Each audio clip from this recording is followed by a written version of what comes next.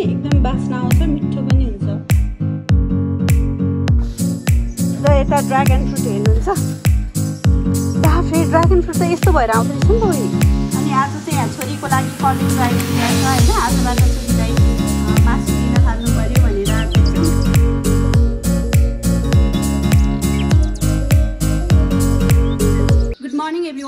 Back to our channel कस्तो हुनुहुन्छ हजुरहरू? हामी सबैजना ठिक छौँ। नयाँ दिन नयाँ ब्लगमा स्वागत छ हजुरहरूलाई। आज चाहिँ अलिकति छिटै छ है घाम झुल्किसकेको छैन। कपडाहरू नार्नु थियो अनि त्यो कारणले गर्दाखेरिमा सबै मिलाउँदा ओर्दा गरेर कपडा मेसिनमा हालि पनि सकेको छु। अब किचनको तयारीमा लाग्नुपर्छ अनि हजुरहरूलाई आज म एउटा वासिङ मेसिनको बारेमा एउटा इन्फर्मेसन अब हजुरलाई थाहा छ कि थाहा छैन होइन? म चाहिँ अब यसकै सेल गर्ने भएको कारणले गर्दाखेरिमा केही हजुरहरूलाई थाहा नभएको इन्फर्मेसन मलाई थाहा भएको हुनसक्छ होइन? र यदि थाहा छैन भने हजुरहरूलाई नि काम लाग्छ भनेर एउटा सानो इन्फर्मेसन सेयर गर्दैछु। हेर्नु होला है त। र यो वासिङ मेसिनमा सिएल भनेर अहिले आइराखेको छ अनि मैले कपडाहरू हालिसकेको छु होइन? कपडा हालेर धुन लागिराखेको छु। अनि अन गरेँ यसमा सिएल आइराखेको छ यो भनेको चाइल्ड लक हो होइन? बच्चाहरूले चलाउँछन् भनेर चाइल्ड लक भन्ने फिचर दिएको हुन्छ। यो चाइल्ड लक एक्टिभेट गरेपछि चाहिँ जति घुमाउँदा जे जे गर्दाखेरि पनि मेसिन यताउति जाँदैन जति थिच्दाखेरि पनि प्रब्लम पर्दैन। बच्चाहरूले त यतिकै थिचिराखेका हुन्छन्। त्यो कारणले गर्दाखेरि यो फिचर दिएको छ। र मैले अस्ति कपडा धुँदाखेरि नानीले चलाउँछ भनेर चाइल्ड लक गरेको थिएँ अनि अहिले मेसिन अन गर्दाखेरि पनि त्यही आइराखेको छ होइन? र यो सिएल आयो भनेर कतिजनाले कम्प्लेन गरिराख्नु भएको हुन्छ पसलमा पनि होइन? आइडिया भइराखेको हुँदैन नि त। अनि यसलाई चाहिँ कसरी हटाउने भनेर म हजुरहरूलाई सिकाउँदैछु। सो र यहाँ चाहिँ हजुरहरूले डिले इन र एड आइटमको तलपट्टि चाइल्ड लक भनेर यसरी अप्सन दिएको छ देख्न सक्नुहुन्छ हजुरहरूले। र यसलाई चाहिँ यो चाइल्ड लक हटाउनलाई चाहिँ हजुरहरूले यो दुइटै डिले इन र एड आइटमलाई एकैचोटि थ्री के थ्री सेकेन्डसम्म होल्ड गरिराख्नुपर्छ। हेर्नु है त। हट्यो होइन। यदि हजुरको सिएल आइराखेको छ भने त्यसरी हटाउन सक्नुहुन्छ। र अब चाइल्ड लक एक्टिभेट गर्नलाई चाहिँ फर्स्टमा हजुरले मेसिन स्टार्ट गर्नु है। स्टार्ट गरेँ मैले। मेसिन सुरु भइसकेको छ धुनलाई। र अब चाहिँ हजुरले चाइल्ड लक गर्न सक्नुहुन्छ। डिले इन र एड एड आइटमको तलपट्टि चाइल्ड लक भन्ने अप्सन दिएको छ। यसले थ्री सेकेन्डसम्म होल्ड गर्नु होला र हाम्रो चाहिँ चाइल्ड लक स्टार्ट भइसकेको छ। अब हजुरहरूले जति जहाँ जहाँ छिति थिचे पनि बच्चाहरूले चलाए पनि खासै यो फरक पर्दैन। सो गाइज हजुरहरूलाई चाइल्ड लकको बारेमा थोरै इन्फर्मेसन सेयर गरेँ र मेसिनहरू चाहिन्छ भने पनि हजुरहरूले हामीलाई सम्पर्क गर्न सक्नुहुन्छ होइन? यो चाहिँ एलजीको आठ केजीको वासिङ मेसिन हो। र अब चाहिँ हाम्रो खानाको तयारी सुरु हुन्छ। Hello good morning hello good morning पुकुमा good morning good morning good morning good morning good morning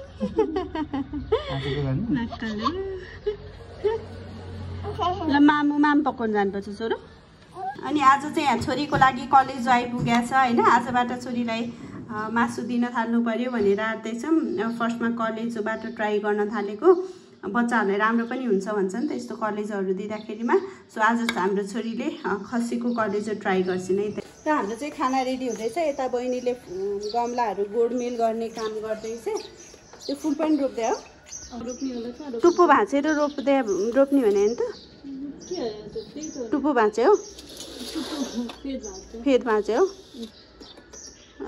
होइन दुई दुईवटा रोप्दा हुन्छ कि? हँ? दुई दुईवटा हुँदा नि र यता चाहिँ हाम्रो यो अकबरे खुर्सानी। ऊ त्यो दुइटा तिन चारवटामा रोपेको थियो एउटा चाहिँ भुसुक्कै मरेर गयो र दुइटा चाहिँ मजाले ल ल भएर आएको छ ठुल्ठुलो भएर आएको छ। यो चाहिँ अलिकति यो पनि डर नलागे जस्तो त्यही भने। यहाँ चाहिँ खुर्सानी गोडमेल हुँदैछ अनि आज हामीले उयो पनि यो सयपत्री पनि रोपे हो क्या? माथि आन्टीले दिनुभएको थियो अनि चारवटा चारवटा खाली रहेछ चारवटा गमलामा तर त्यो फाल्नै माया लाग्यो क्या मैले त उयो यहाँ अझै बाँकी छ कि सयपत्री। भनेको यो चाहिँ कस्तो ठुलो भइरहेको कि यो हाँगा चाहिँ। र यता ड्रागन फ्रुट हेर्नुहुन्छ। बाफ्रे ड्रागन फ्रुट त यस्तो भएर आउँदो रहेछ नि त उयो। यहाँ। अँ। म त एकवटा लहरा मात्र झरेर देखेको थिएँ के। है? यहाँ चाहिँ हाम्रो ड्रागन फ्रुट यति लामो भएको छ अर्को टुप्पा पनि आइसकेको रहेछ प्लस ऊ यहाँबाट सानसानो सानसानो यस्तो यस्तो टुप्पा आइराखेको छ। एकदम राम्रो भएर आएको छ। स्ट्रबेरी चाहिँ खासै फलेन। ड्राइगन फ्रुट दुईवटा र गाउँ पठाइदिनु पऱ्यो एभोकाडो? एभोकाडो दुईवटा ड्राइगन फ्रुट यसरी आएपछि आफै भाँचेर रोप्नु त्यो त कति छिटो आयो कि है? हजुर। के भन्नुभयो? अँ। फुल चुर्न आइसक्यो है। पो मन पर्यो? हाले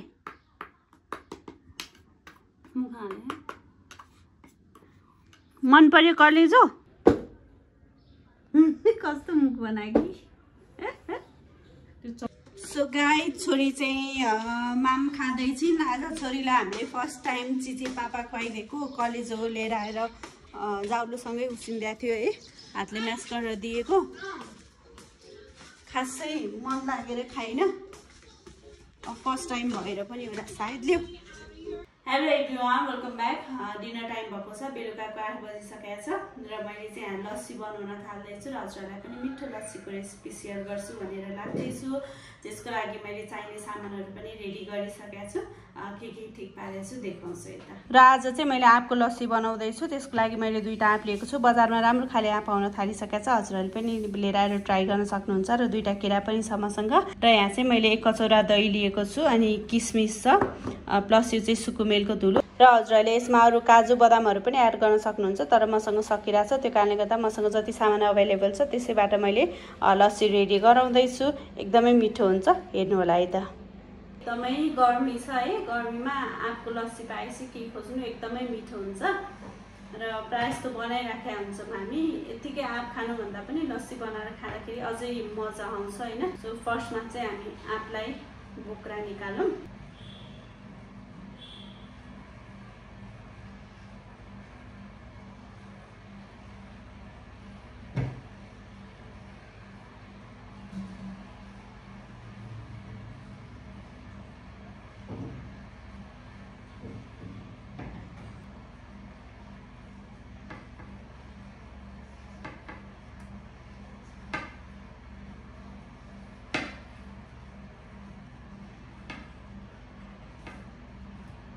र यता चाहिँ मैले आँप र केरा काटेर रेडी गरिसकेको छु अब बनाउन थालौँ है त। मिक्सरको भाँडो लिएँ दही राखौँ। आँप।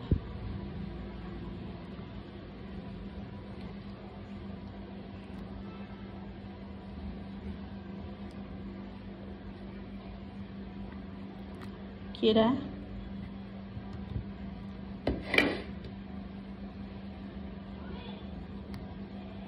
मैले अघि चिनी देखाउन बिर्सेछु चिनी राखौँ। चाहिँ हामी मिक्सरमा पिस्ने।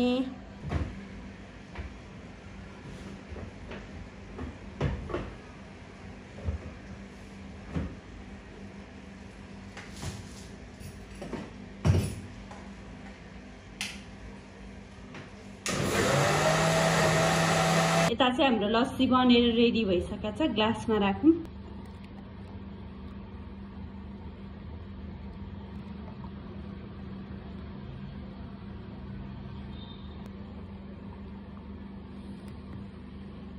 र किसमिस पनि राखेँ मैले अलिअलि र यो चाहिँ सुकुमेलको धुलो यो सुकुमेलको धुलोले चाहिँ एकदम बास्ना आउँछ मिठो पनि हुन्छ। र हजुरहरूले यसमा एक्स्ट्रा काजु बदामहरू पनि राख्न सक्नुहुन्छ। मसँग चाहिँ यति नै सामान अभाइलेबल भएको कारणले गर्दाखेरि मैले यतिबाटै बनाएँ र हाम्रो मिठो लस्सी रेडी भयो। ट्राई गरौँ है त।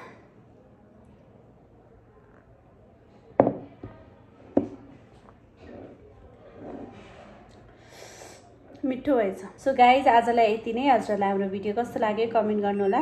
यदि मनपर्छ भने लाइक सेयर सब्सक्राइब गर्न नभुल्नु होला भोलि पनि यस्तै रमाइलो भिडियोका साथ आउनेछौँ। त्यति जेलसम्मको लागि गुड बाई